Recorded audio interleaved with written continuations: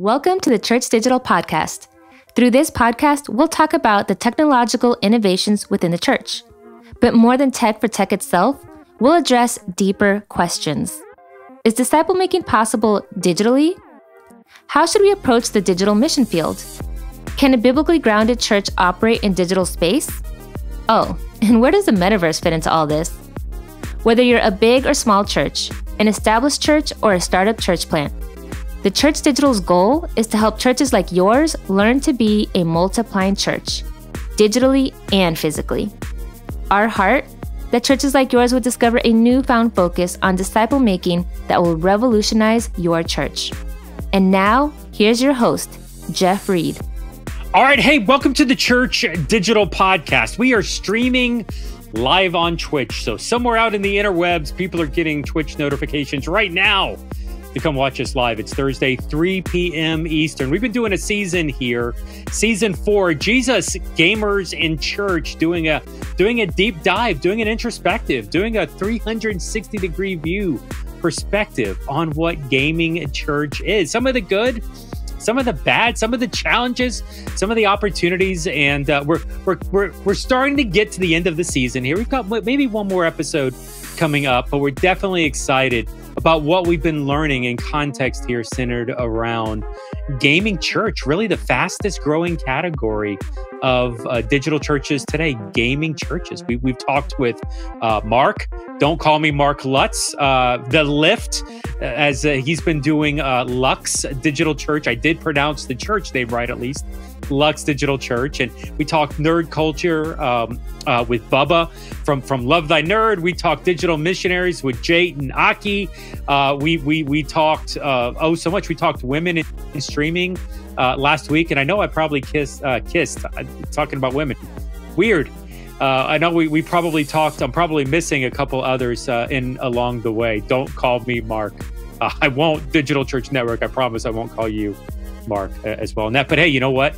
Today we've got a great episode where we're bringing in uh, some really smart people about gaming culture. Once again, I'm positioning myself as the listener here, podcast audience, and looking and seeing what uh, what's happening and what can happen really as we start to explore being the church in this digital space and, and how it matches up. And so I'm going to ask the lift Mark himself. I'm just going to call him Mark Lift from now on because I won't mispronounce last name. Mark Lift, do your magic and let's bring in the special guest for today. Hello, hello, hello, awesome. hello. Hey, Mark, you're okay with that name, right? Mark Lift? Like that's not offensive or insulting to you in any way. You're you're welcome to just call me Mark Jeff. You don't have to pronounce and you're also welcome to mispronounce my last name. It actually doesn't offend me. I you actually make a bigger deal out of mispronouncing my last name than I make a big deal. People have been mispronouncing my name my entire life. I just respond to all of them. I my my name got mispronounced on my wedding day. So it's not, you know, you mispronouncing my name at the beginning of a podcast is not a big deal. Wow. So I can't believe your father-in-law screwed up your your uh, your last name on, on the wedding day. That's horrible. My father-in-law? No, my father-in-law did it. My pastor yeah. did. Oh, you're. Oh, that's even worse. Like Maybe. I was. Actually, I don't know I, if that's worse. I was. That's, that's I was announced. Uh, I, I have a pleasure of announcing for the very first time, Mister and Mrs. Mark and Jennifer Lutz. Uh, was what was said on my wedding day, which is inaccurate, but it was fine. We we we it went it went okay.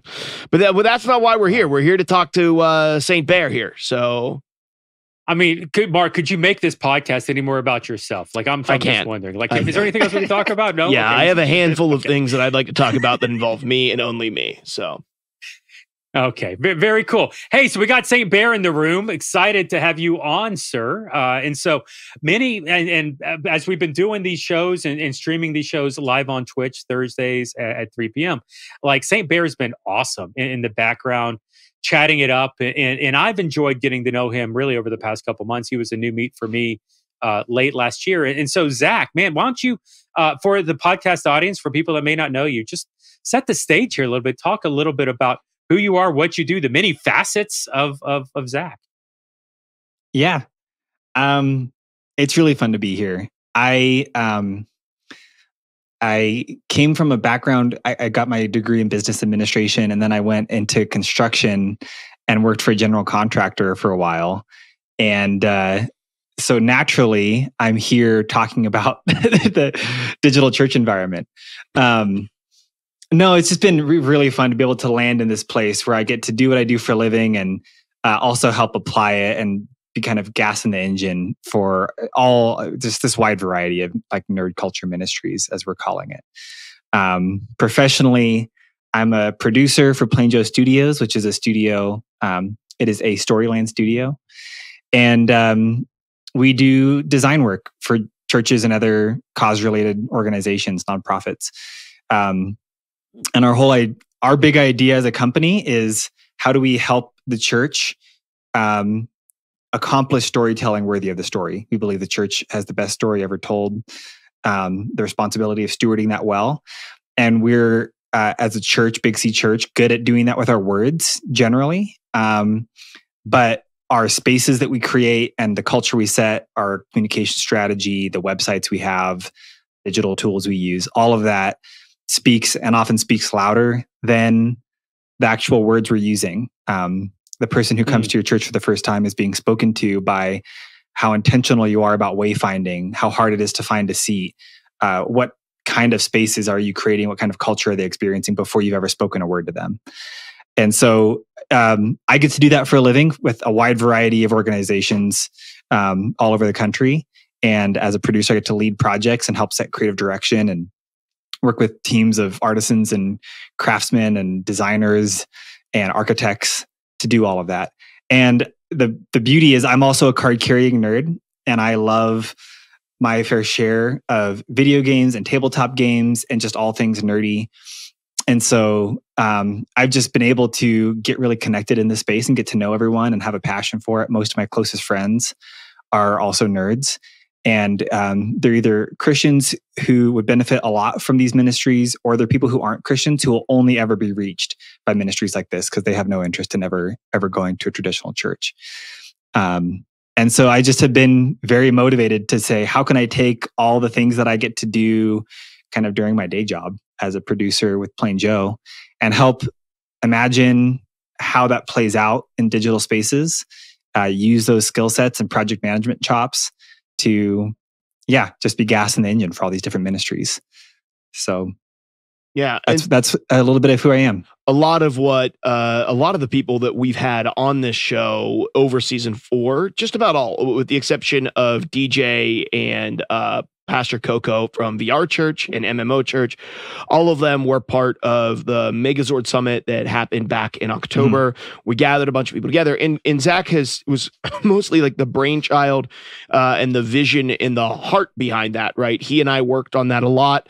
That was an event that was primarily 90% of it was run. It was all funded by Lux or Lux partners, but it was Zach and I that were meeting together literally every week, sometimes multiple times a week leading up to it, making the invites, having the meetings, and then uh, Zach in the background who did all of the project management on that. And so when he says he wants to be fuel in the engine that isn't just words uh, that is i mean that is very practically he has been fuel in the engine of what we've seen birthed mm-hmm. Because of megazord right we've seen on the other side of the megazord the nerd culture ministry collective network that has been forming and people are getting into groups and connecting we've seen those relationships built we've seen a tremendous we've seen more unity in this space now than i think arguably has ever been in in the space. I, I haven't been in the space the yeah. seven or eight years that it's been here, but I think most of the people who have been would say that there's more unity right now than there has ever been. And then with that, yeah. also what we're seeing here doing it the church digital, um, a lot of the people who are on it, we've have those connections to and invited them onto the show because of what happened back in October with Megazord. And, you know, Zach had a little bit of the, a lot of the heart behind that. So you just want to tell us briefly, Zach, like why why Megazord? Where did that come from? Yeah. Um, and follow that that trail just a little bit to help people understand. Yeah, absolutely. Um, I remember, man, it's, at least a year ago now, which is crazy. We, um, I, I was thinking about uh, just seeing all these different ministries. There's Love Thy Nerd. There's all these different streamers. Um, there's digital churches and there's people wanting to serve in the background people who aren't going to be the person primarily on camera they're not someone who really wants to be like a full-time streamer um, but they just love this space want to serve it well And so I'm seeing all these people and I'm thinking to myself, man, wouldn't it be great if we could get them all in a room to be collaborative? Because hey, man, it must be just be so lonely. All of these are people that have this entrepreneurial spirit. They start going, doing this ministry, head down, just running as fast as they can. And it's so hard for them to be able to make time to get to know one another. Uh, so, like when you work in a, in a traditional office space, you have all your coworkers and you walk by and you chat with them and you can kind of commiserate about things that are difficult or share lessons learned and tips and tricks. And you don't have that when you're working full time at home for yourself doing this mission mission field that you started, you know? And so there's people that have been doing it for seven, eight years now that barely know any of the other people in the same space. And so we just said, man, what if we could get them all together around the same table, build a relationship so they can support one another, love on each other, and uh, I, I think we talked about this before. I like wrote up this whole tweet, which you know, to all three of my followers that I had on Twitter, and I posted it with this idea. and lo and behold, those three people, uh, one of them being my wife, was were not the audience that needed to hear it. but I at least got the thought on paper. And it wasn't long after that that I met you, Mark, and I I mentioned the same thing to you. It's just man, this has been on my heart. I wonder if this is possible. And uh, it wasn't long after that that we were able to get funding and actually make it happen.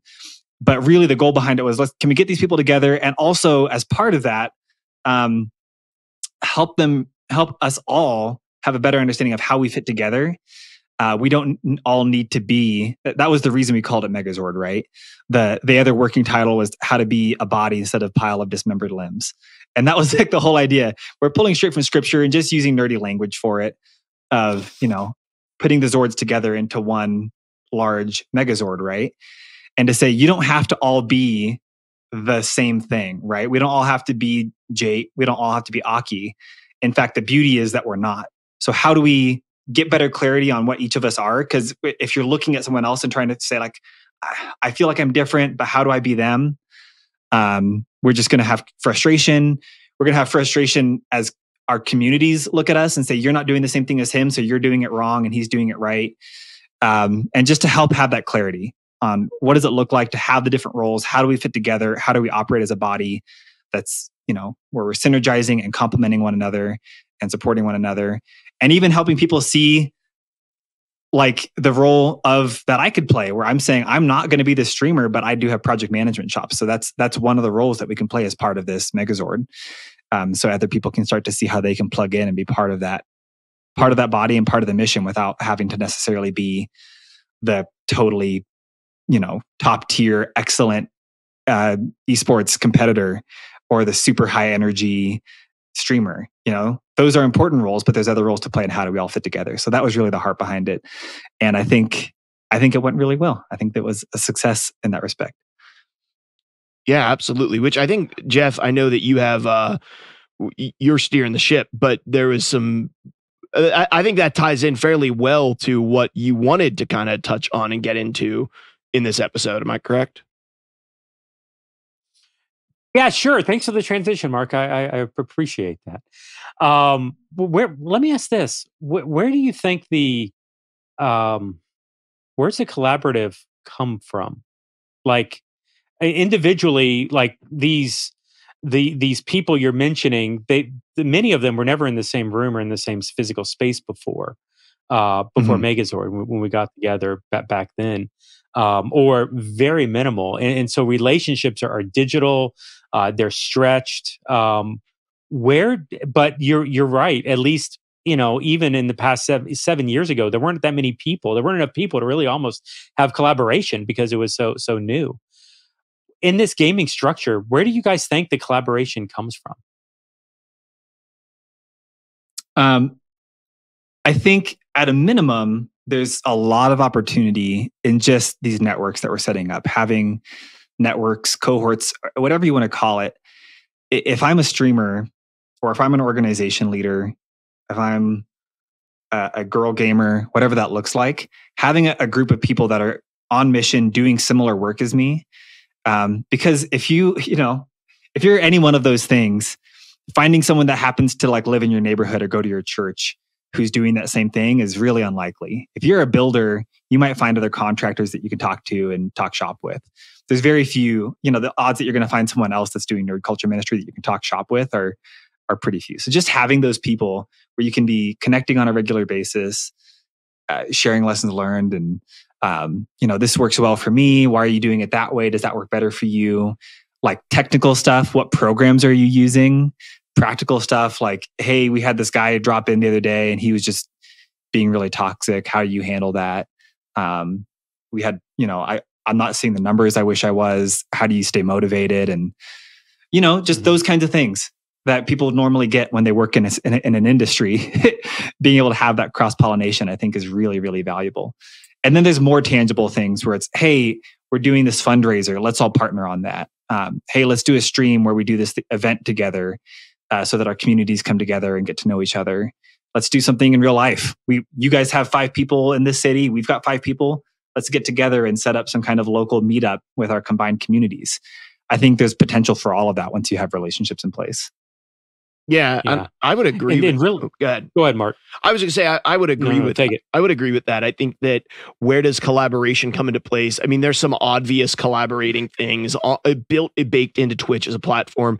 Things like raiding and hosting and all of those sorts of things. There's things like what Aki from Aki and Fam does, which is Aki and friends, and he invites people to come on and just be part, and they have a conversation. Um, he did one where it was like gamer dads for a while, where like if you were a dad and you were a gamer, they got on and had a conversation around raising your kids well uh, who are you're also raising your kids to be gamers. I think that there's obvious collaboration there. But when i think about this i oftentimes mm-hmm. think about what does it look like for pastors in a town in a small town to collaborate? Um, and it, it usually isn't hey uh, we're doing a potluck so all of you bring your people to our potluck.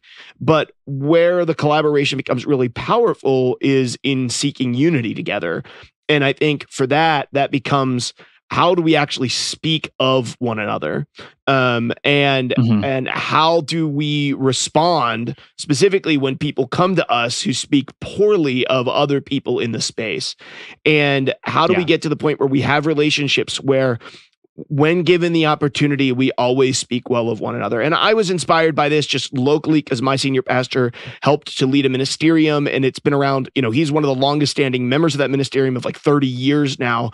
And one of the things that Chris said is when people come to my church and they say, I'm mad at Summit Presbyterian Church and I don't like Tom, I say, Oh, I know Tom and he's a friend of mine.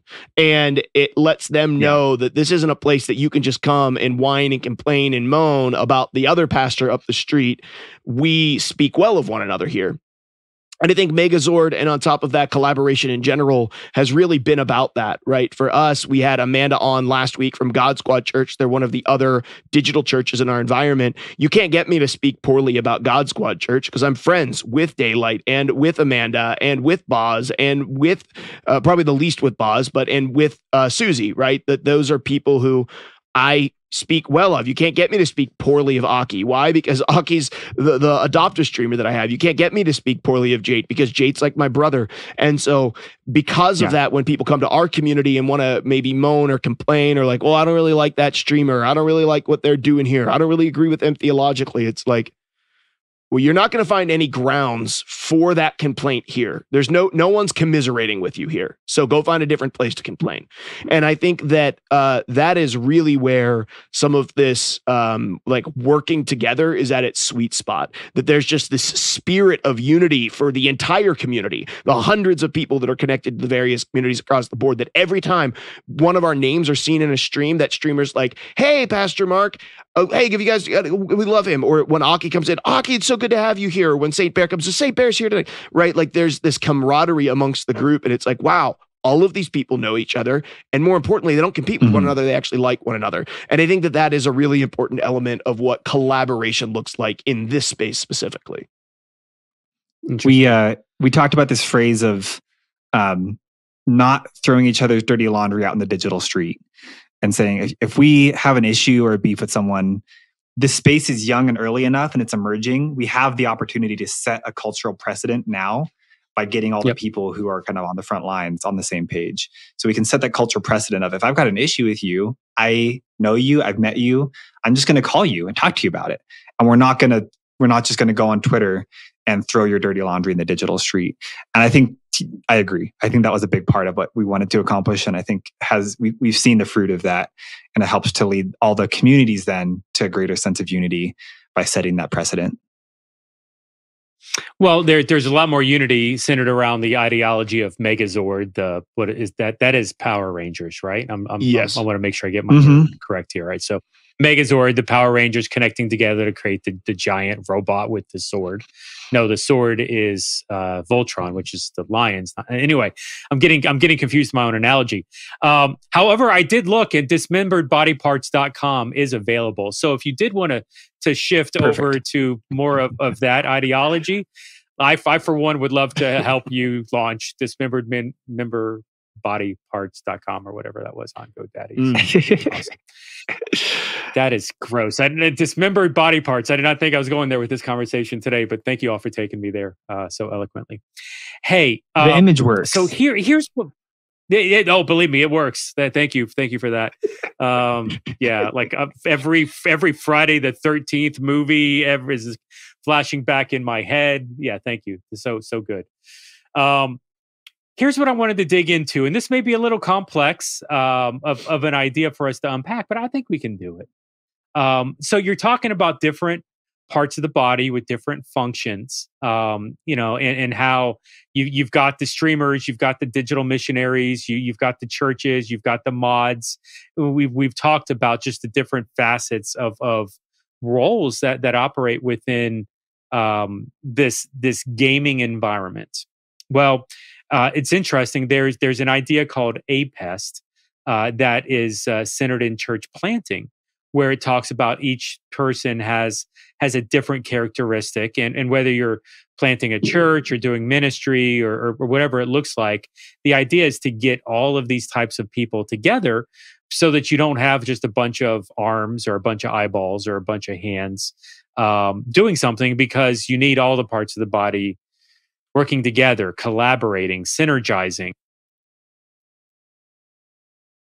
I know we had some conversations about APEST earlier and, and um, uh, with the, some of the Megazord stuff, and it really challenged me and kind of opened my eyes to what what could be in gaming. I didn't realize, to be honest, I didn't realize there were so many um, characteristics, roles. I didn't realize there were so many roles. Mm uh, within within the gaming church. And so within this past several months, that's been the eye opening for me is is understanding. Oh, you do need really that type of person to fill that specific role in this. And and and the the mods are are not you know one thing that I learned last week talking with the ladies is how important the mods are uh, in in some of those situations. And, and so I would love for us to to unpack. Um, maybe some of the APEST ideology uh, maybe see how that maps in, into gaming church, maybe even how that maps into digital church overall, and, and start to get a picture of that. Now, uh, I do want to give the floor to Mark. Um, don't say my last name, uh, Lift, because Mark is is is inside. He's he's got a little he's got a little anger inside him right now. There's a chip on his shoulder, and and, and the chip is uh, he's he's he's the four guy. He's not the five guy, so he's really upset that, that I'm using APEST, even though Alan Hirsch is is right and, and Mark is wrong. But that's okay. So, Mark, would would you like to just clarify your your your fourfold view for yeah, the audience here? Sure. I, I, it is is really not a chip on my shoulder, but uh, yeah. um, uh, so I mean, I I went ahead and posted the scripture in in our chat as well. So Christ gave himself uh, great gave himself uh, so Christ himself gave the apostles, the prophets, the evangelists, the pastors, and the teachers. Um, and so the fivefold ministry kind of comes from that. There are people who are apostles with the gift of church planting, starting new things, um, entrepreneurship, um, prophets. Uh, I've always defined that as the ability or the, the, the giftedness to call God's people back to righteousness. Um, uh, the evangelists, people who bring new people in, and then the pastors and the teachers. And in in my uh, theological theological upbringing, pastor teacher in Greek is not two terms, it is a singular term that we split in the English translation of the Bible. So pastor teacher is a singular role, not a uh, not two separate roles. So I'm a fourfold guy, not a fivefold guy. But uh, the point is, is that all five of these roles are very important um, inside any faith community, and it is exceptionally important inside of uh, inside of this community as well. And I think what is really interesting is we've actually seen all four slash five of these things um, play out uh, in pretty profound ways because I think I think the main point is is that you want to gather these things together in a church plant. Um, but I've seen the church led by each of these right? There's certainly churches that are led and started by apostles, uh, people with the the gifting of prophet on their life. That's the one that I lean most heavily into personally. If there's one that I think uh, God has placed on my life, it's the role of prophet. Um, and and not when I say that to mean predicting the future, but in in terms of calling God's people back to righteousness, um, the, to evangelize to you know people who are just really you know missionary, mission driven, um, and then pastors and teachers, which you know pastors are shepherds which I think is what APEST translates it to, right? Shepherd, um, really great at pastoral care and just coming alongside people, and teachers really great at just communicating biblical truth in digestible ways. And uh, we see these things, and actually, the beautiful thing is we've actually seen these things on the show. I think that is one of the coolest things is we've seen these on the show because when I look, the shepherd rule is Aki and his family through and through right? This mm-hmm. desire to create a place that if you don't have a safe home, you have a safe home here with us. I've told Aki and his wife uh, Natalie several times now if uh, like they are they are more equipped for pastoral care inside of a church than most pastoral care pastors. Like they're just so good at it of caring for people deeply and authentically um, in really powerful ways. And then, of course, we had a conversation with Jate, who unapologetically has said his goal is to have 50% of his stream to be non-believers. Why? Because he has this deep pulling as as uh, as as an evangelist, right? Um, and you can kind of see that in the fact that Jate's number one goal isn't necessarily putting all the building blocks in place, but it's having those deep relationships. And then we've had Bubba on, and certainly the gifting of apostle is on Bubba's life as he has been a builder builder, right? An entrepreneur, a, a, a, serial starter in many ways, in which he sees things out ahead of him and he he he's putting all of those blocks in place. And you can see that in what has emerged with Love Thy Nerd and now the Nerd Culture Ministry Summit. And so we've seen these giftings actually play out pretty powerfully, um, I think, through just this podcast. And, and maybe not all five, but certainly at least most of them. Um, and they are really at work in the space. So, but Bubba is your is your apostle in, in, in this model with the with the builder mentality. Like, what what's your where would you put Bubba in that? I want to be really careful that I don't I don't trump on stomp on Alan Hirsch's. Uh, uh, I I don't know I don't know how uh, strict APEST is right or how easily it well, is here, for here, people here. to flex from one to the next right. I, I, will quote. I literally, I, all all this. Alan Hirsch uh, wrote wrote the book, The Forgotten Ways back in the in the mid 2000s. I actually have the page open on my computer right There we now. go. Perfect. Um, Apostle. This is Alan Hirsch, the man who brought APEST ministry fivefold. Really, he he brought it back. This was something that was around in the 70s, 80s, and 90s. Like it just went away. 2000s was the rejuvenation of, of this concept. Apostles extend the gospel as the sent ones. They ensure that the faith is transmitted from one context to another and from one generation to the next. They are always thinking about the future, uh, bridging barriers and establishing the church in new contexts, de- developing leaders, networking translocally. Yes, if you're focused solely on initiating new ideas uh, of rapid expansion, you can leave people in organizations wounded. Uh, the shepherding and teaching functions are needed to ensure people are cared for rather than simply used and, and like and so there's pros and there's cons there's good sides to being an apostle there's a bad side to being an apostle. Um, and let's not when i'm talking bubba i'm not saying he's using and abusing people but like does does does bubba fit that model of, of the apostle? You know mark i know you fit that model. I, I would i would feel comfortable putting you in that space. Um, prophets uh, know god's will. They are particularly attuned to god and his truth for today they bring correction and challenge and challenge the dominant assumptions we inherit from the culture. They insist that the community obey what God has commanded. They question the status quo. Without the other types of leaders in place, prophets can become belligerent activists or, paradoxically, disengage from the imperfections of reality and become otherworldly. I don't know. I could see. Wow. I could see a little bit of Mark in that too. Yeah. Well, where do you see yourself, man? Let's make it about you, Mark. That, that that's why I'm saying, like, I don't. You know, depending on what your view on this is, people can flex from one to the next, right? Um, and there's certainly people who exhibit multiple giftedness, even in the people that have been in the show so far. Um, whereas, oh, I, I would say that people have primary voices when it comes to APEST, and maybe secondary voices when it comes to APEST. And if I had a primary voice, sure. my primary voice is that of prophet my secondary voice is that of apostle, at least in this particular apostle. season of life. But I, do yeah. you feel like those uh, categorically?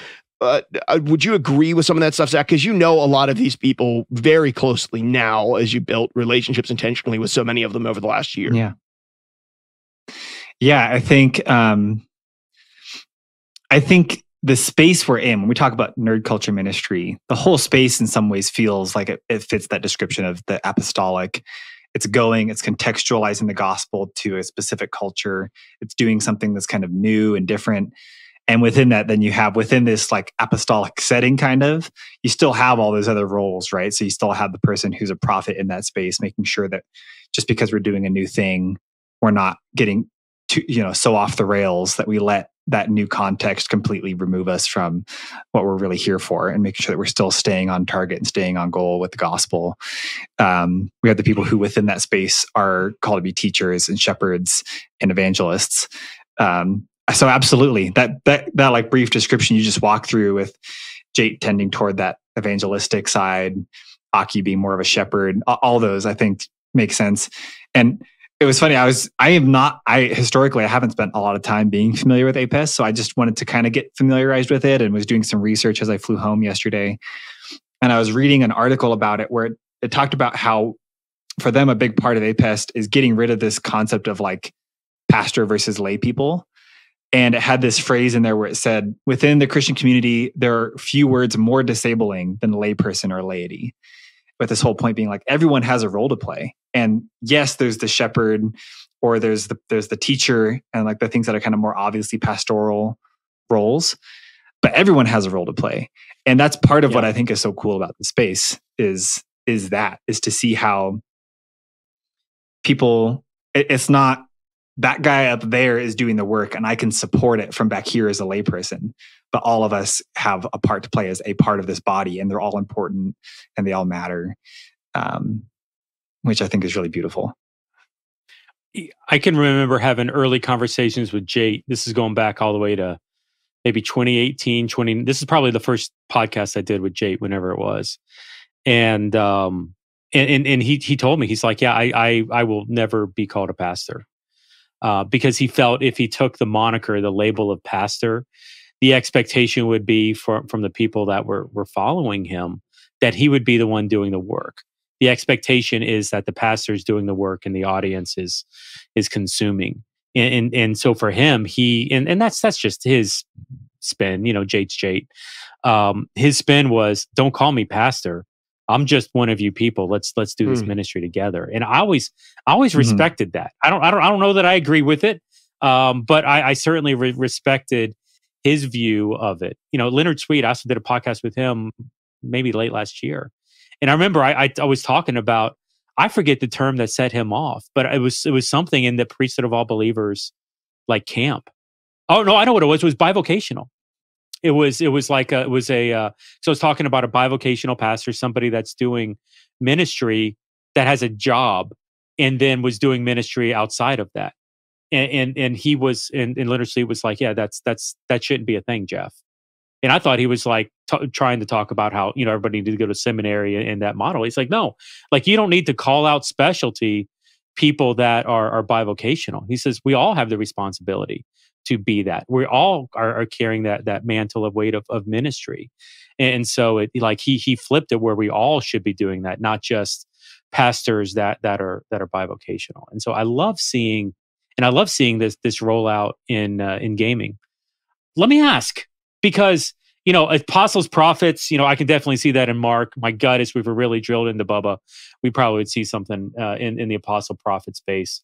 Uh, evangelist shepherds, we, we talk some about that. Uh, teachers. So he, let me let me read the definition of teachers here. Uh, according to Alan Hirsch from the Forgotten Ways 2000 book that was written, uh, teachers understand and explain. Communicators of God's truth and wisdom, they help others remain biblically grounded to better discern God's will, guiding others towards wisdom, helping the community remain faithful to Christ's word, and constructing a transferable doctrine. Without the input of other functions, teachers can fall into dogmatism or dry intellectualism. They may fail to see the personal or missional aspects of the church's ministry who's a good example or what, what does a teacher look like in, in, in gaming context i'm curious here uh, you know, I think of two people, and uh, one that we have not had on the show or was on the show a while ago. Susie has a way of being able, in the middle of a raid, um, to preach a sermon off the top of his head and take complex spiritual ideas and make them simple.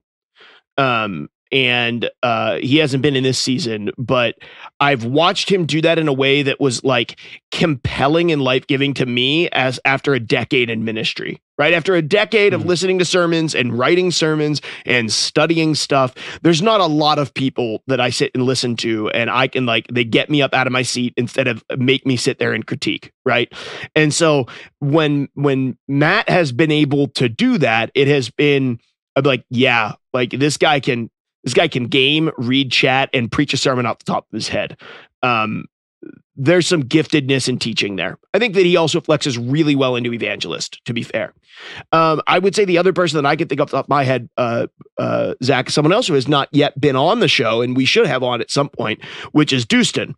Um, Pastor Dustin uh, literally does like his Bible studies. What's really cool about Dustin is that there are actually a lot of people who will jump on here and they will do teaching on on Twitch. Plenty of people that do their their weekly sermon prep live with people um, or they do bible in one year which is what flatcap does and he was on on the show earlier in this season um, but then you have guys like Dustin who have the ability to have unbelievably great video and audio quality. I mean, it is his ideas and the way that he has it set up is just staggering. I keep saying like everyone in the space, the Christian space, needs to learn from him in many ways.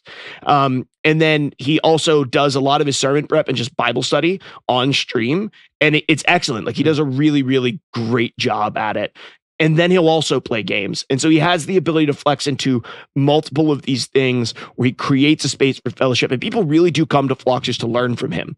And I think that is one of like the major draws for his live stream is people show up in his live stream just to learn from him. Um, and that isn't mm-hmm. the case with my live stream. So I, I, I always really appreciate that in Dustin. Am I, who am I missing? Do you agree with that, uh, Zach? Yeah, Dustin is the one that immediately came to mind for me. Um, I just popped into his stream the other day and he was going through uh, commentary, but it was like, there's like the, hey, I got a study Bible. It's got the little notes in the bottom. And then there's like the commentaries that, you know, pastors use that have like 20 pages on one verse kind of thing. It's like a, it's a, it's a full novel just on the book of Romans. And so he's going through, I think it was the book of Romans. Mm-hmm. I might be getting that wrong. Um, and uh, he was he spent the full stream it was multiple hours going through one verse and just really digesting getting into the meat of it right? And so like that's different and that's good. That's kind of kind of the point right? There's people like jate who want to do it very conversationally and make it very yeah. um accessible to the, someone who's never read the bible before. Um I feel like more of the like pastoral approach is like what you see in like a, a, church setting where it's uh, halfway. There's information, but a lot of it is meant to inspire and encourage. What he's doing is like, hey, let's do a study together. This is going to be like this is meat. We're going to dig in. It's going to be a lot to digest. Let's really wrestle through this. And there's not a lot of people doing that. And if you're a new believer or someone who's not a Christian, that might be a harder setting for you to get plugged into. Though I, I know he does have people in his streams that that love that who aren't Christian but want to hear and, and get into the meat of things. But yeah, being able to really get into the meat of things that way as a teacher, he does pretty uniquely. I think there's a, a few others, but I think he's probably got the most like um, tenure, I guess, mm-hmm. uh, and like he, he's doing it in the most solid way. Um, to your point about like just really having a, a well established setup in his space and a community that that gets it, and he's been doing it for a long time on a very consistent basis. So yeah, I would agree with that. Doostin, what's his what's his handle on Twitter? Where do we find or excuse me, on Twitch, where do we find them? Pastor Doostin, D O O S T Y N. Oh, I've seen him. That's that's interesting. Yeah. I'll have to, I'll have to check them out. Very very cool. Uh, and so like, but all those, it's interesting comparing Jade as a as a teacher, conversational, Doostin, what you're describing. You know, a very different remember context and even for the audience like contextualization is so important the people that Jade are going to reach with Jade's model right. of, of conversational relational is completely different than the people that that pastor Doostin's going to reach uh, with with his um, with with his approach. And so it's not that one's bad or, or, better than the other or one's wrong one's right. It's they're both serving their purpose for the for the kingdom to connect with those different types of audiences. So i i, I love that. Um, what is the is there one of these apest is there one of these that's more difficult in in gaming environments like discord relationally connecting or or, or twitch like is is there one that's just more challenging than the other? Hmm. so between apostle prophet evangelist pastor teacher um yeah i'm just curious. I mean i, I think the space lends itself I, I agree with Zach in the fact that he said like the entire place feels apostolic right? Because it is so new and so future thinking. Like there is nobody in this space that got in here um, because they. There are some of us who've been inspired by others, but there's nobody who's getting in here because they're a late adopter, right? Like I, mm-hmm. they're every one of us are either like really early adopters or like first people um, and so because of that, it feels very apostolic, period. Um, I would say that it's really interesting. I think that it really lends itself heavily to evangelists too, because most of us have just a heart and a love for people in this community, mm-hmm. and we want to see them come to Jesus. And it is such an unreached people group that you really can't get away from that. Like, there's not a lot of people who are like, I just really want to care for Christians. Um, and so they decide to start a Twitch stream. Why? Because we all know the reality is that you're going to get lots of people who aren't Christians coming into your Twitch stream, very likely. And so it feels very evangelistic in that way as well. I think maybe the voice of the prophet is one of the harder ones to find a place in this in the space although your definition of prophet not so much because it, you really were talking about like challenging the status quo I, I don't think that you can get into this space without having at least a little bit of fire in your belly and wanting to challenge the status yeah. quo right you kind of have to be you have to be a little nutty to be honest with you to to be actively mm-hmm. in this space as a Christian trying to influence people towards Jesus. Like it's just openly hostile towards Christians. So um, I, would love to know your thoughts on it, Zach. I feel like all of them have a, a very clear place once you get to know the environment. I think um, the things we probably have the most of and that feel the most obvious are evangelist. Um, I think we have people that are trying to that are doing the apostolic element. I, I think the prophet element feels very important because whenever you're going and contextualizing to a new space, um, having someone who's challenging those people to stay on target and to not have any um, mission drift in that space, um, to stay true to the gospel. I just think it can become really easy, especially when you're doing a mission um, that is also something you love to do, right? Because people are doing this because they like gaming. If you didn't like gaming, I, there are some people that get into the space purely missionally and don't like gaming, and they really struggle because people see right through that and they can tell that you're you're disingenuous about the, the space you're in. Um, and so I think within that, it's really important to have people who can help everyone keep, uh, you know, avoid mission drift, stay on target, make sure that we're holding true to the gospel, um, not sacrificing truth for the sake of uh, reaching a new context more effectively or trying to evangelize better, um, not watering down. And so I see that role as being really important and probably something that we could even use more of. Um, just being able to kind of keep be, be che- that check and balance. And teacher, I think, is probably like probably the part that is the the piece of the equation we have yet to really nail down is uh, the effective discipleship part. Like you've gotten someone who says, "I want to be a Christian." Help me walk through that uh, I think Jate does it well. I think everyone is figuring it out, but really having good tools in place to then really teach them and start offering them meat to chew on, I think is mm-hmm. an area that there's still a lot of room for growth um, and for people that can do it better, better tools to do it with. Um, yeah. yeah. My, you know what my, my hope is, and and uh, it's interesting. I'm going to tie this in. My my hope is that you know vendors and, and resources like like Plain Joe and, and, and some others that, that are out there start developing, you know, tools and systems to better allow for uh, Jate yeah. and, and, the crew like that to develop. You know, there, there's the idea of, which is one of the reasons why I champion the idea of digital discipleship so much right now, because that's that's that's the missing piece to really blow open the doors on digital church, on gaming church, on virtual reality church. Uh, to to once we can really start to have some tools and resources to help uh, create a, a, more stable disciple in, in digital space. Um, this has been a great conversation. Like, you know, I've, I've loved hanging out with St. Bear. I've loved hanging out with Mark the Lift and uh, definitely uh, excited about, um, you know, what's coming up here, even as we're looking ahead to what's, what's in store for, uh, for, for the gaming church. As, as we're landing the plane here, um, uh, Mark, any, any closing thoughts on your side? No, I don't think so. I think this has been a really great look at how um I think it's just been a really great look at how like the very same things that we look at inside of physical church and in church planting are vibrant, alive, and well inside of this space as well. And I think that for me, that's just encouraging. And hopefully it's encouraging to you if you're listening in and you're a physical church pastor and you're trying to figure out what are the differences between what we're talking about here digitally and what you're doing. You'll begin to notice that God doesn't use different skill sets because the platform changed. Uh, he, mm-hmm. he continues to give the church the same tools and we continue to use those tools in new ways um, and it's just so cool to see the the 2000 year old you know giftedness that Christ has given the church over and over again continue to play out to reach new people. And I love that. Would you say mark just real quick quick answer um, would you feel that you have APEST or fourfold um, represented within your lux leadership right now? Oh yeah absolutely. Yep uh, like Absolutely. inside, so you're, like, you're intentional. Yeah, inside our church, yeah, we identify that stuff. We, we do our best to identify that stuff pretty early on.